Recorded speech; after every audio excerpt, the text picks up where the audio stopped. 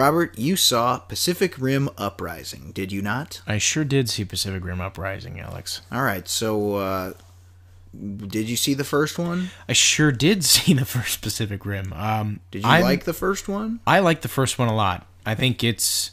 I feel like it's you know the better version of a lot of the latter Transformer films.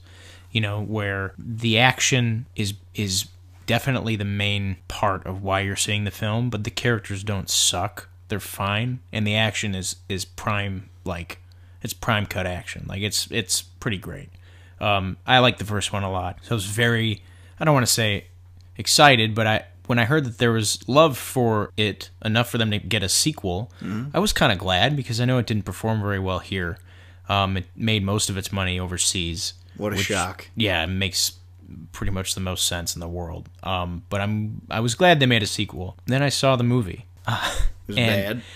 You know, So it sounds like it sounds like the first one was definitely better. oh yeah, it's without a shred of doubt. Better. Okay, so I guess my main question is since the reason I never saw the first one or the second one, obviously for that matter, is aside from robots and stuff crashing around, which I can get in other movies, maybe not Transformers, but just in general, I just didn't see anything appealing about the characters outside of the robots and the monsters. Yeah, it's that it's that issue kind of to the max in this. The Yeah. characters are even more stripped down. You know, there's no more uh, there's no Stacker Pentecost, who is, you know, Idris Elba's character from the first one, who is kind of a badass. Um, you don't have a protagonist that's like really um, well, I don't know. Maybe the protagonist is kind of on the same level, but you don't have the side characters aren't there. Uh, they do stuff with Charlie Day's character um, and the other scientist that you know their friend he's friends with, played by Burn Gorman. I think his name is Gottlieb in the movie. Um, but you know they were kind of the comic relief in the first movie, and now they I won't get into spoilers, but they do something with that relationship. Should we just get into spoilers? Because I don't care. Okay, we'll talk about spoilers. So Charlie Day's the villain of the movie. Okay. and it's dumb. It's terrible. It's a horrible, horrible idea, and, and especially because he was the comic relief in the first movie, and like See- he's supposed to be a character you root for, and like they corrupt, they do a whole corruption plot thing where it's like ah the kaiju, the people in the or the the kaiju like big bads in the other dimension, like they call them the precursors. Mm-hmm. They're like infecting his mind and stuff because he's. uh it's it's just not it's it's a bad part of the movie. If I'm being just blatantly honest, it sucks. So what you're basically saying is what's wrong with Transformers movies, uh, particularly the latter ones, is also a problem here, in a way. In a way, I, w- I would definitely say I, there the big issues I have with the latter Transformers films is that I'm just always bored watching them. The action is always just super kind of like nonstop and never really is en- engaging. And I wasn't really bored watching this. It's just that the stuff that I was watching, it either pissed me off or I was just kind of like, oh, okay, this is decent. You know, it's not great. So is the are the action scenes at least good? Yeah, I actually wanted more action scenes, which is kind of the trailer for this.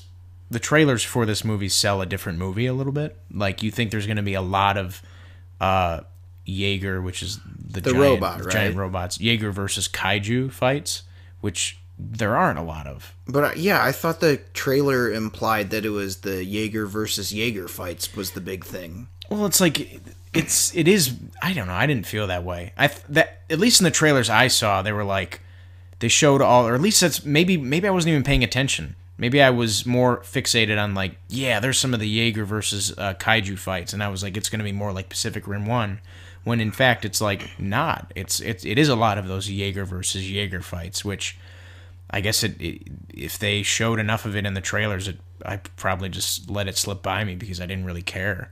See, that's from what it sounds like you're talking about. It seems like this is the problem. I think that a lot of action and or larger blockbuster series is or franchises kind of run into. If action's your main thing, then just have a lot of that. Yeah. But if if your series just sucks at having good characters, you shouldn't try it and all of a sudden, you know, add add depth when it's you know it had it didn't really work before. Why is it going to work now? Yeah, there's they. It just it felt like I made the comparison in my head to Kingsman 2. It felt like this one did a lot of the same. It, it relied on a lot of the same pitfalls, which was it tried to world build, you know, and it tried to extend the character scope and all that mess. But uh, it it all ended up drawing focus away from what I'm there to see, which is I want to see robots punch monsters in the face. Like this is why I'm here, and we don't get really that much of it at all until the end, which I say is probably the best part because the end fight, all the fights, they're all really solid looking. The effects are fine. Uh, the choreography's fun. You know, there's some cool like use of setting. You know, there's a fight on like a giant frozen lake that is neat. Yeah, that see that part looked cool in the trailer. Yeah, but the, the they do stuff with the plot where it's like, I know what you're trying to do with this. Just don't do this. Let's just see more fights.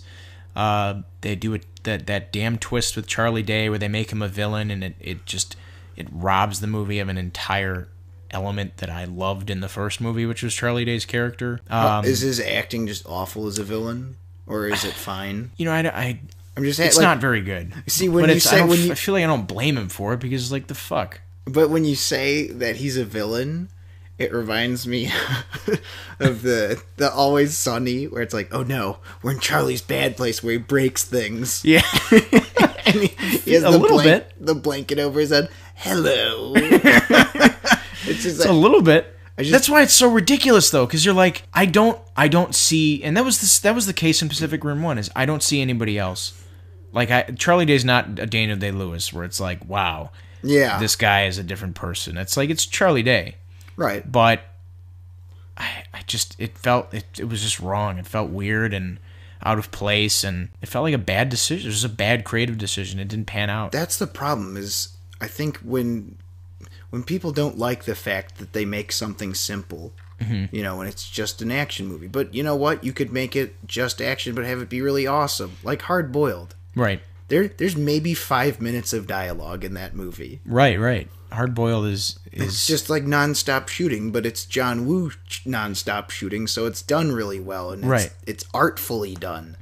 And it's like just be satisfied with what you're good at. Don't try and you know, don't try and rock the boat. Oh, well, maybe if we have this twist that no one's gonna like, yeah. that that that'll that'll get the audience, that'll win the respect of our peers. and it might it might sound like I'm ripping the movie to shreds, but I'm only really doing that because I enjoyed the first one a lot. No, And I- I know what just you mean. I had super, you know, I at least wanted this to be like, you know what? Ah, screw the critics. I thought I thought it was a good time, and I I, it's a good time, but it I definitely get why critics don't really, you know, like it. It's it's you know, it tries to do too much. It there- juggles too many subplots and thematic things and socio-political things and I'm like I don't really care about it So the main plot is what exactly? Without going into a ridiculous amount of detail.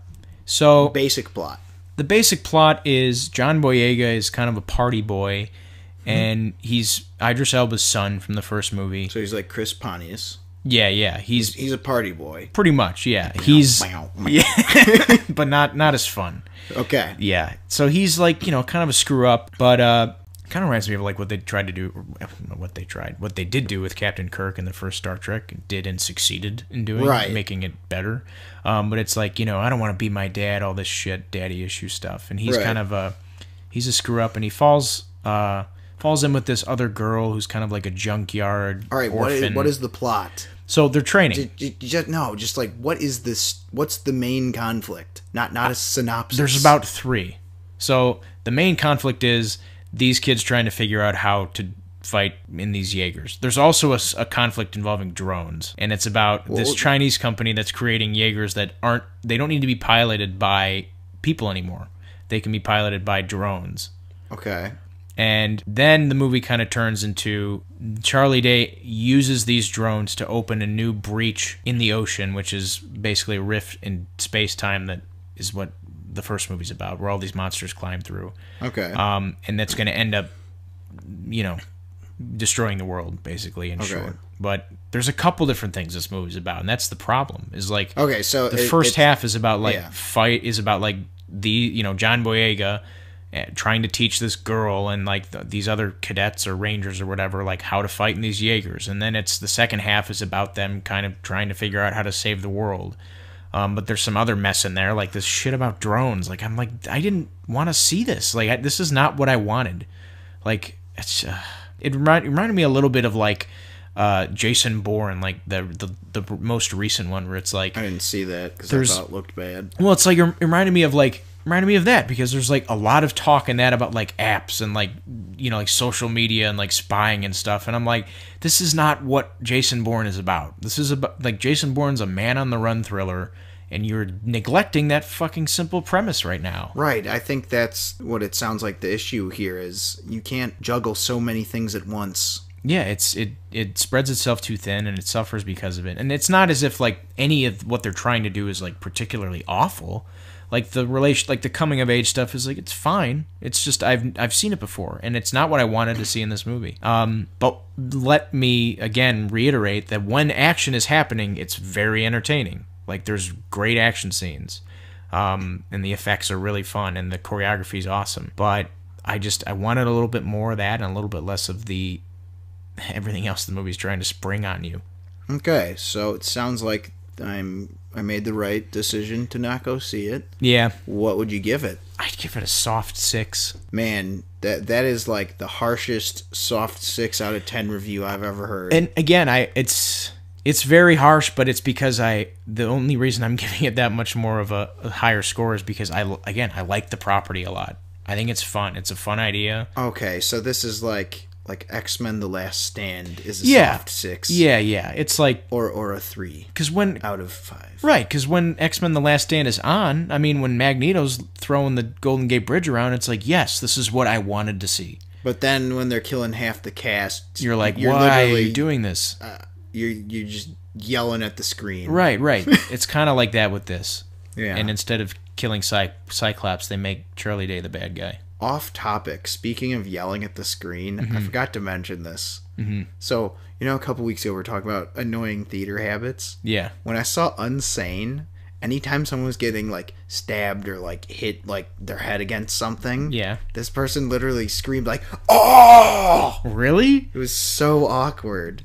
I, I mean, ah! It's like, calm down. It's just a movie. Yeah. Okay, but yeah, so Pacific Rim was not great. I, I, Uh, I any, any closing thoughts? I, I will be there if they make a third one, reluctantly, but I, you know, it makes these movies make me smile. Like when I when I see, I don't care what, even if the the movie could be trash, but if there's a scene in the movie where someone is is taking like a fistful of cars and like throwing them at a monster, it's like I'm not gonna like, you know, be like no, dumb. I'm gonna be like. Yeah. I'm gonna be like, yeah, this is a dope ass fucking action scene. But yeah, but it's it sounds like if you're gonna have something that's super action packed, Mm-hmm. then I guess you don't really need good.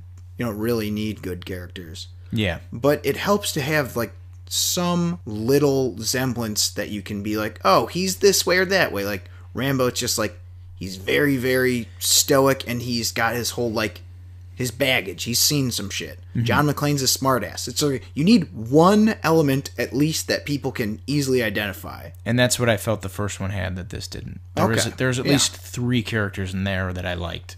All right.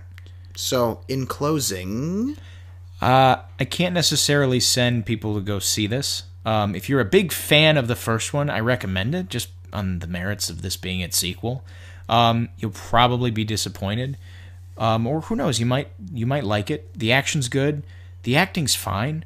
Uh, it just it spreads itself a little bit too thin, and I wish it stuck to its guns on what the whole premise of the franchise was, which was robots fighting monsters. So yeah, six out of ten.